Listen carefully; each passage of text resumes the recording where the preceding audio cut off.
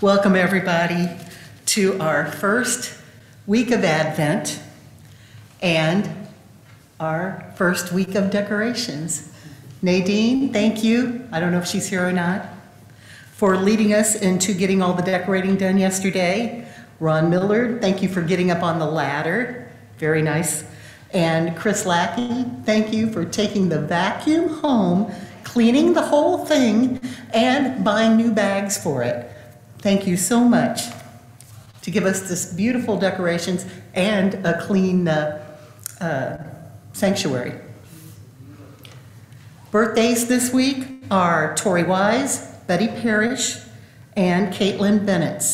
Does, and does anybody know how Betty Parrish is doing? Anybody have an update? Okay. Okay. Um, also on the prayer list, we do have an update on Jack Cave's son. And they decided, if, if you don't know what's going on, his son had, uh, what are they called in his lungs? Blood clots in his lungs. So they decided, instead of doing the surgery that they were planning to do, which was a very uh, intricate surgery, that they're just going to let, try to let those dissolve. So we're hoping that that's what's going to happen. Welcome to Elaine and Steve. Nice to see you today. Today is the day we need to have our availability sheets turned in. And you might notice that where you normally turn them in are some uh, Christmas cards, but don't let that throw you. Just go ahead and put them in there so that Pam and Karen can take those and, uh, and get us all set up on our availability sheets. For oh, we have a, tha- we got a, Robin got a thank you that I'd like to share. Hopefully, since I had all these papers in my hand, here they are. Okay, this is our thank you from Robin, for Robin. Robin, I had so much fun going through all the yarn yesterday. There is such a good variety of variegated and solid colors and so many full skeins. I took it to the Roeland Park Community Center this morning, and the staff there couldn't get over your generos- generosity, what all I was bringing in. I will not be able to be at knitting tomorrow, which they do at Roeland Park, but have let the others know they will be in for a treat. Please let the members of your church know how much their generosity with the yarn and their time given to the Central Avenue Center of Hope is appreciated. And the lady who signed that is Nan Geely. And if you don't know the history on that, we have been holding skeins of yarn that everyone has donated for, well, over a year, you think? Susan? Okay. About a year. And uh, several times I said, I don't think they're coming back. And the lady came back, got the yarn. They were down to having only white to work with, and it's a knitting group over at Roeland Park Community Center. Then they're the ones that sent all of the hats that we had last week that we, that we donated to Center of Hope. So if you have any extra yarn, uh, these ladies do appreciate that. We also got a lovely thank you letter from the Riney family. And I have, and it's on the bulletin board, and I also heard that Clint's mom is doing, is doing better. Anything else for prayer list that anybody has that I missed? Any updates? Okay, for Vespers on 1219, the time is 6 o'clock, and uh, Jane and Sharon Wood are, Jane Landrum and Sharon Wood are putting together our service for that evening. So 6 o'clock on December 19th. Are there any other announcements that I have missed? Anybody got anything? Okay. So a couple weeks ago, I went and uh, went to the temple and I I walked the labyrinth. They had a special "Come Walk the Labyrinth" uh, thing, and uh, and I really enjoyed it. What they did there, and if you don't know, a labyrinth is is like a almost like a maze. It's a round thing, usually round, and you walk through, and then you have to walk back through. And what they taught us when I went to to walk it at the temple is that when you walk in, you release anything that you brought in, kind of like when we come into the sanctuary, we release. Then when you're in the center, you uh, stay in the center and you talk and you ask what God is inviting you to receive and allow God's light to pour over you and flow through you. And that's called the receiving part of the labyrinth. And it's kind of like coming in here. And so now we have time right now to, to be in the light and to share our time with, with the Holy Spirit. And then as we end, as you, we ended the labyrinth and started walking back out, it's the journey out or returning. And you ask, what are you going to take with you and how are you called to let your light shine into the, in the world? Very similar to coming to church. We release whatever we were thinking about, we come into church, and we share the light, and then we go back out into the world. Our call to worship today is the call to worship that's, is the uh, scripture that's on our, our uh, window, which is section 161. Lift up your eyes and fix them on the place beyond the horizon to which you are sent. Journey and trust, assured that the great and marvelous work is for this time and for all time. Claim your unique and sacred place within the circle of those who call upon the name of Jesus Christ. Be faithful to the spirit of the restoration, mindful that it is a spirit of adventure, openness, and searching. Walk proudly and with a quickened step. Be a joyful people. Laugh and play and sing, embodying the hope and freedom of the gospel.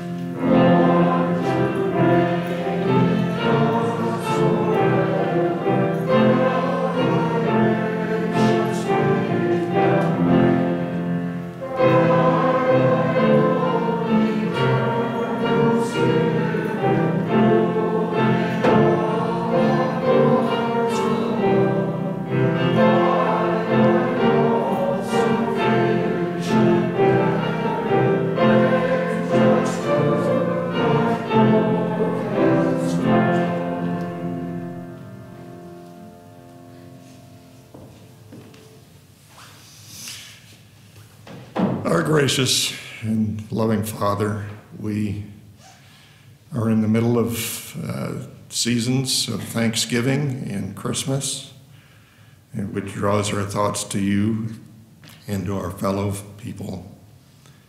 Uh, this is the was the 400th anniversary of Thanksgiving from the very first one, which wasn't called Thanksgiving, of course. But we all are very thankful of the things that we are that we have and that we're capable of doing. We're thankful for our fellow fellow uh, friends here, and thankful for you and, and Jesus in His holy purpose. Uh, we wish that you would be with us this this morning uh, with your loving and kind spirit that will draw us all together and that will be inspired by the message and all of the uh, participation that we do. And I thank you for so many things. In Jesus' name, amen.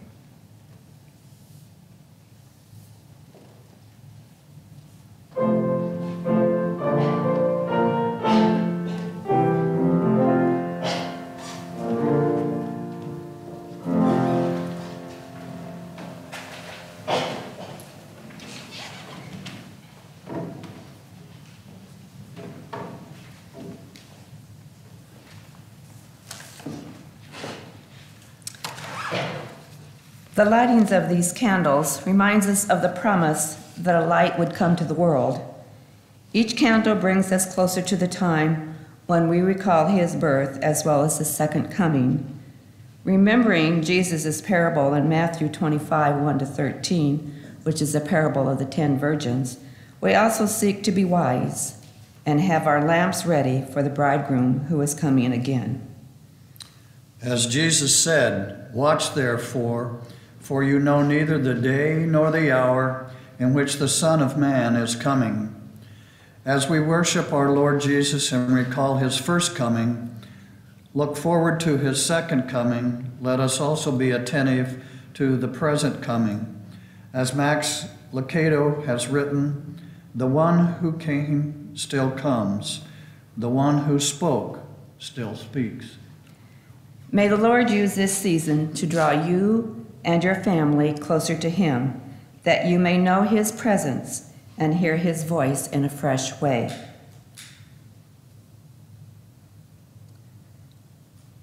Today we light the first candle of the Advent candles. This is the candle of hope.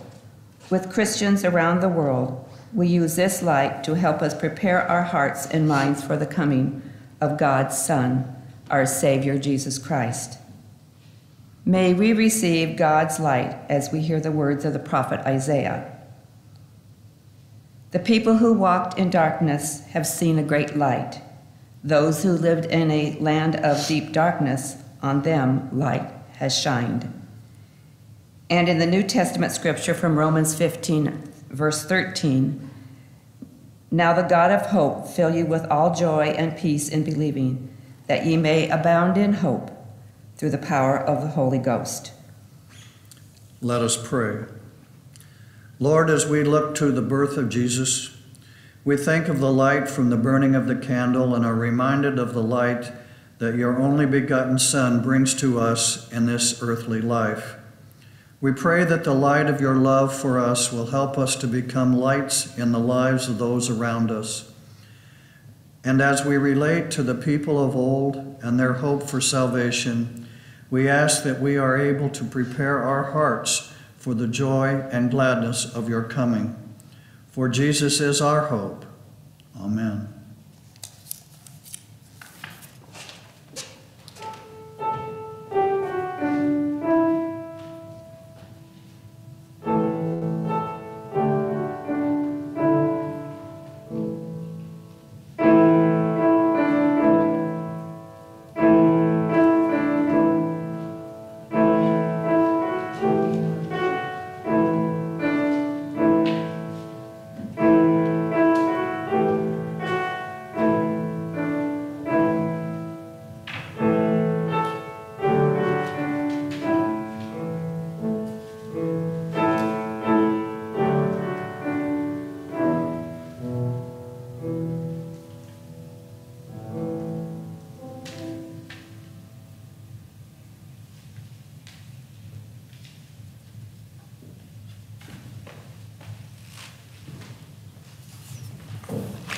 Will you join me in prayer, please?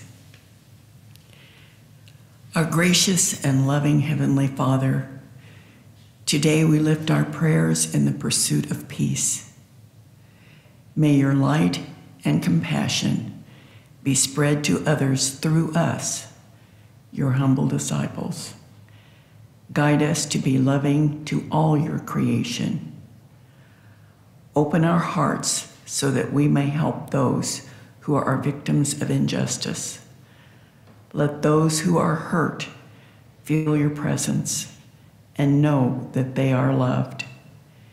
May your peace and love flow through us in this time. We ask this in your most holy name. Amen.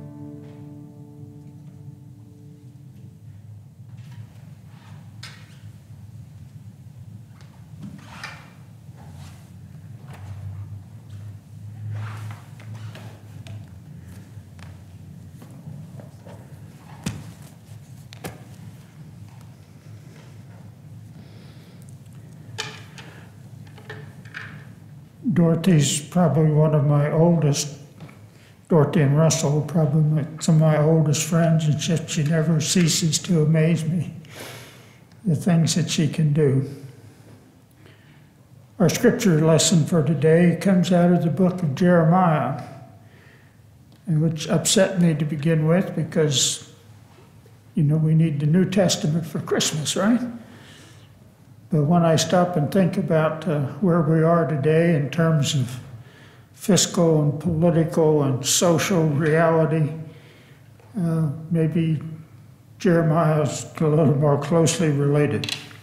But anyway, it comes from the 33rd chapter, the 14th to the 16th verse, where God makes, makes Jeremiah and the Israelites this promise. Behold, the days are coming, declares the Lord, when I will fulfill the promise that I made to the house of Israel and the house of Judah.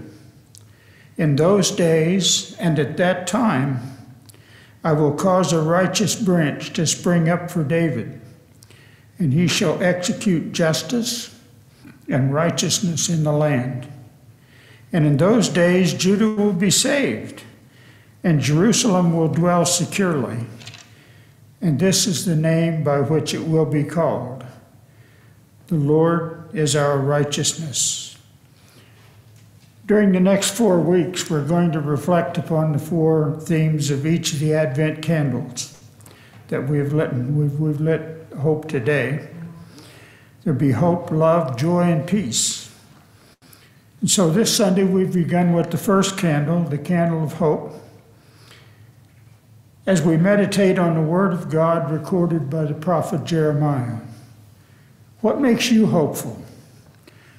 A lot of students are hopeful this time of year. I can just barely remember back that far. Because we can see the light at the end of the tunnel of finals. Some even have graduation to look forward to. And they're hopeful about the future. You can often see it in their eyes.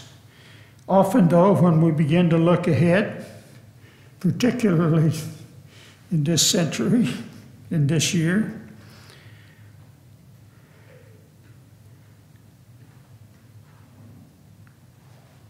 we become anxious and we become uneasy.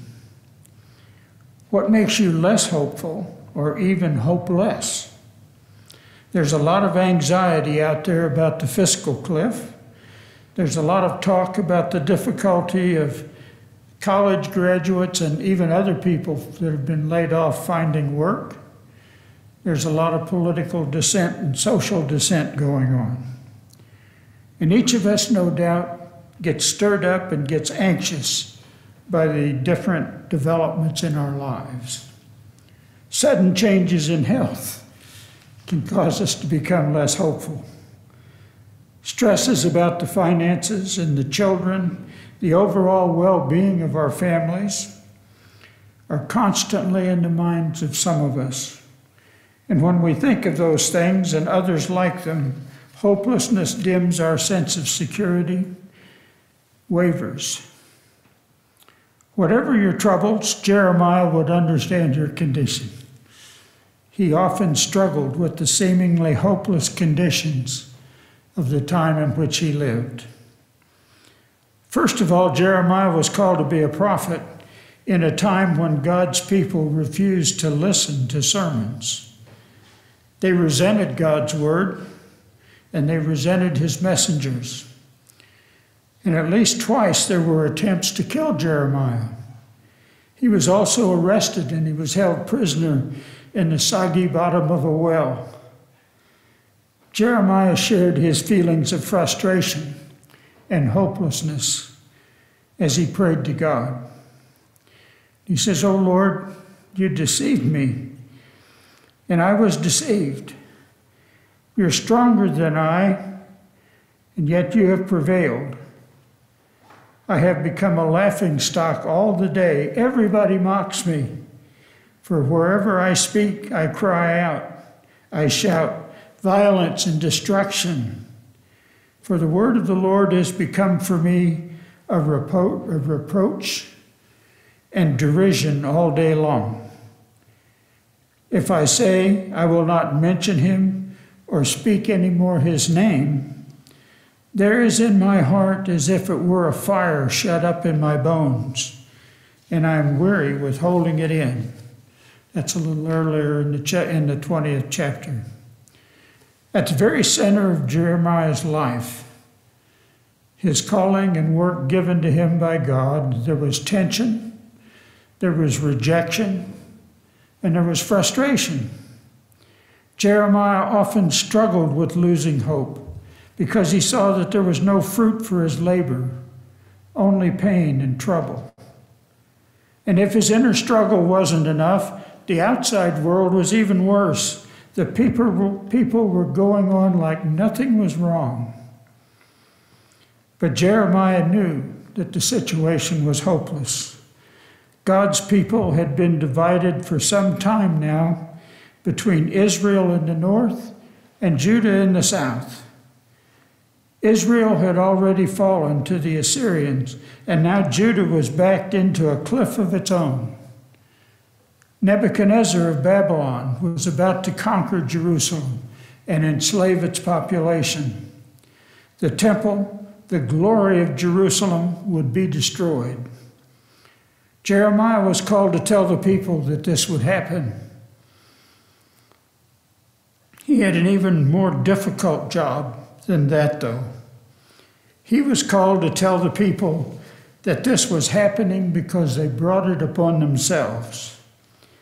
They'd rejected the God who loved them so much, filled with false hope that everything was going to be all right, they would soon be completely hopeless. What a terrible situation.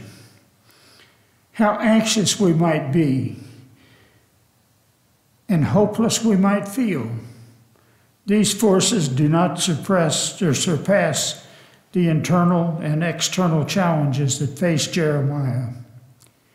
Into this hopeless situation, God gives a remarkable word for Jeremiah to preach to the people. Not only would it later give them comfort, but it comforted him during this hopeless time. In those days, he said, I would raise up a righteous branch to spring up from David, and he shall execute justice and righteousness in the land. If his inner struggle wasn't enough, the outside world was even worse.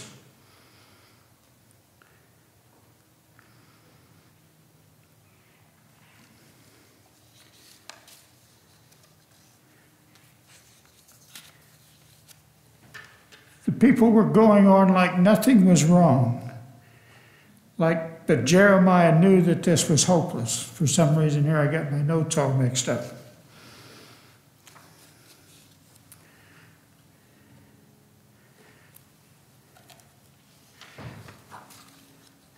Amidst the chaos and the uncertainty, God gives this healing and refreshing promise to Jeremiah and all of the people to hear. It's more than just a word, though. This word will change reality. It brings hope to a hopeless situation. Jerusalem would experience terrible bloodshed and anguish and enslavement for their sins. And yet God says that's not the final word. Once again, she will dwell in security and enjoy prosperity. There will be a time when the people will be hopeful again. When the people were finally captive in Babylon, they would hope in this promise of the prophets that God would restore his people forever. And as Isaiah had promised, though their sins were like scarlet, they would become what is snow perfectly forgiven and perfectly restored. This great reversal would happen when a lowly rabbi entered in like a conquering king on a donkey. Jesus fulfills Jeremiah's word perfectly. He is the seed of David, the righteous branch that sprouted up. The people received Jesus as a king at first. They thought he'd come to do what a victorious king would do. He'll make sacrifices at the temple in thanksgiving to God, and then he'll take up David's throne. Little did they know that he had come to make sacrifice, but the sacrifice would be his own body. The same Jerusalem who had rejected God in the time of Jeremiah rejected him again.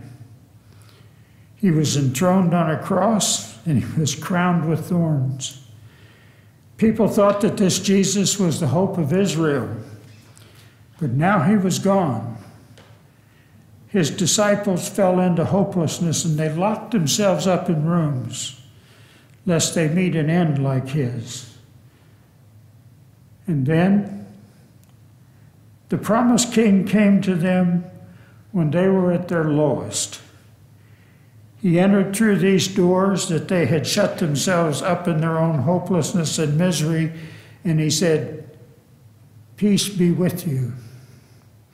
Hope, profound and permanent hope, was theirs because Christ was risen from the dead.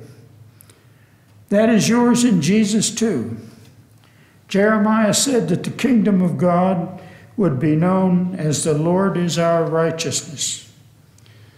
That righteousness is ours when God placed his name upon us as we joined him in his death and his resurrection in our baptisms. His death has done away with Israel's sin, of Judah's sin, and your sin. His resurrection has given you life that is in God, so you know that no matter what troubles, you or causes you to lose hope, it will never mean God will lose you. At the time of Jeremiah, the people were not very attractive, nor were they very lovable at all. And yet, in this word, God shows us that He does not love us because we're so lovable, but rather we're loved before we're made lovable. We're forgiven our sins and made white as snow by God's grace. Now apply that to your hopeless situations. The counsel of others is too often that if you think positively, positive things will happen. And that might be true at times, but it also puts the onus on us as if hope is something we have to find within. But think of Jeremiah in the very pits of hopelessness. Just as in Christ, God the Father loves us before we were ever lovable, so also He gives us hope before we were ever hopeful. Christian hope is not dependent upon how you're feeling at a given moment or what is happening within or outside of you. Christian hope is summed up in the name Jeremiah promises us the Lord is our righteousness. And if we take a moment to reflect upon those things that try to make us feel safe and secure and hopeful, we see that they can't deliver true hope.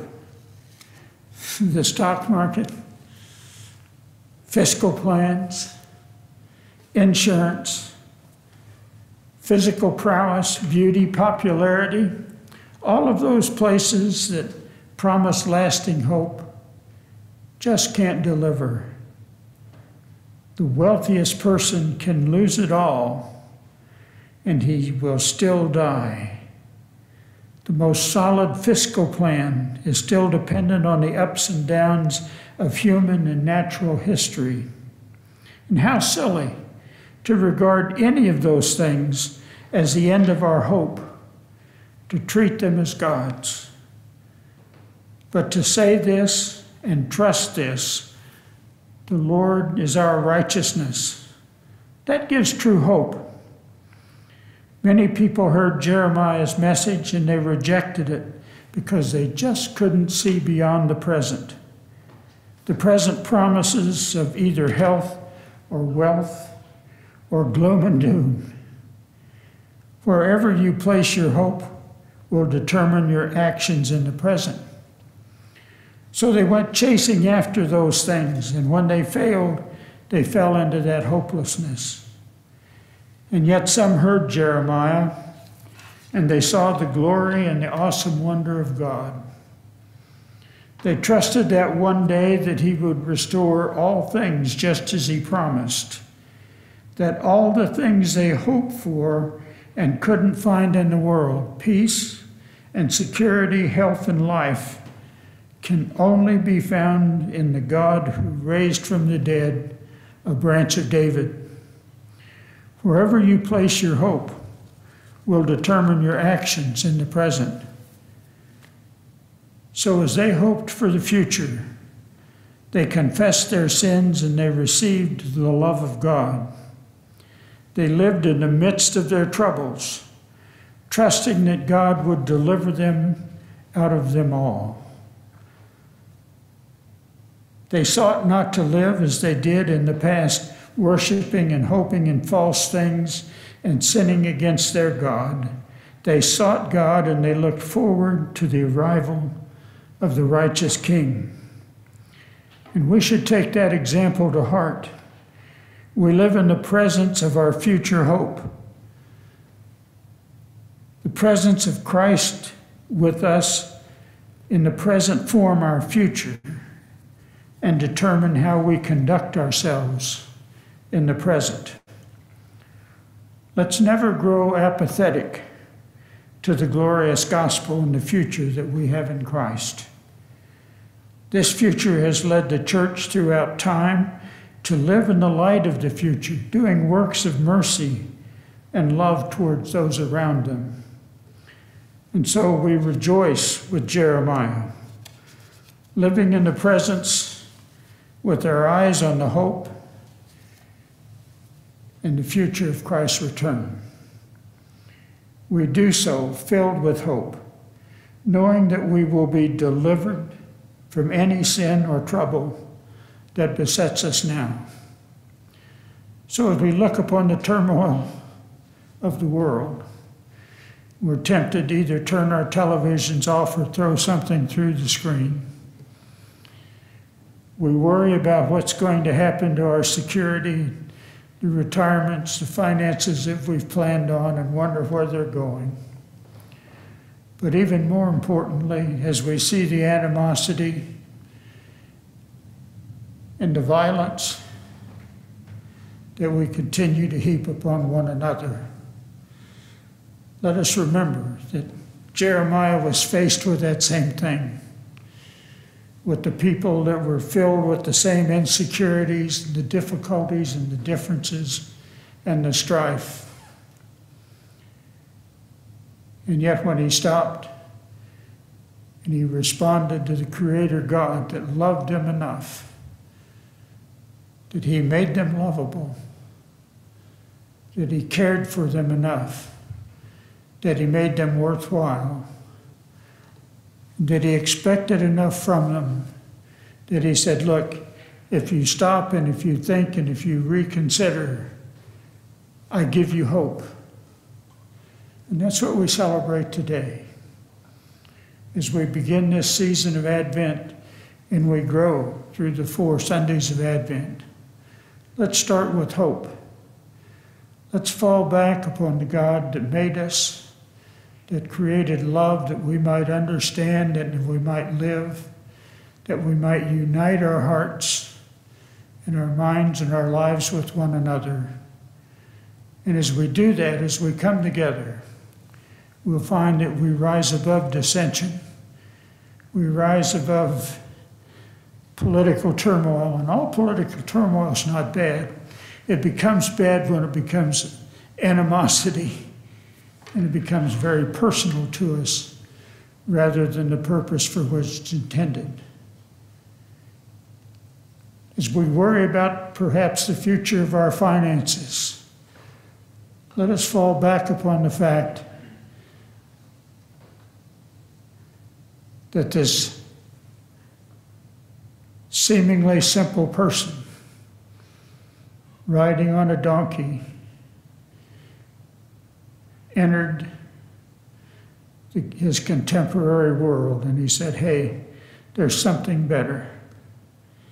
There's something more simple. There's something that brings you peace, that brings you love, that brings you serenity. And if you embrace and stay true to those things, we'll transcend the problems that we think bring themselves down upon our world. And in that realization, we might come to find that which Jeremiah was given to call Christ's righteousness. So I invite you to share in this day of hope.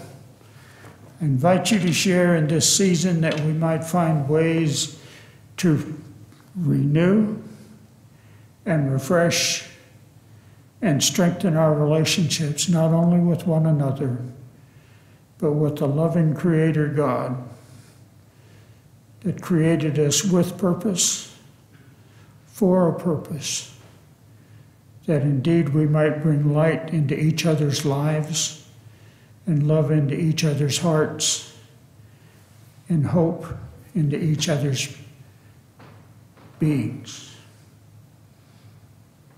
Amen.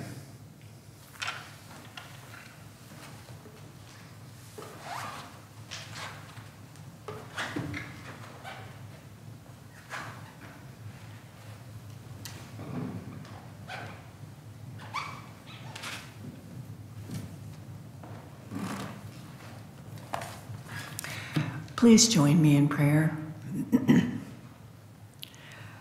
Loving Heavenly Father, as we share our offerings, we are tangibly expressing our gratitude for all the blessings and gifts we have received from you. Be with us and guide us in allocating these offerings to best achieve the goal of fulfilling Christ's mission. May we use our resources in ways that build healthy, happy relationships with you, with others, and with the earth. May we remember the teachings of Jesus that challenge us to make lifestyle choices that are counter to our culture of accumulation and excess. In Jesus' name we pray. Amen.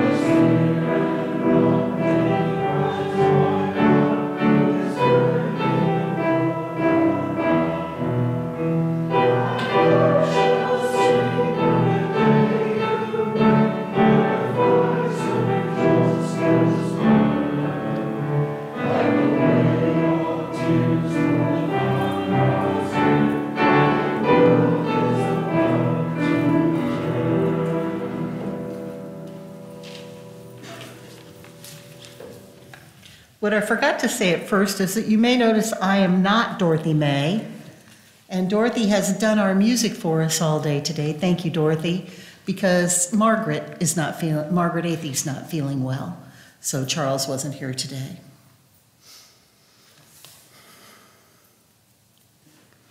Creator God, our souls cry out with a joyful shout. Hallelujah. Thank you for surrounding us with your love, with your joy, with your peace, and with your hope as we go forward in joy.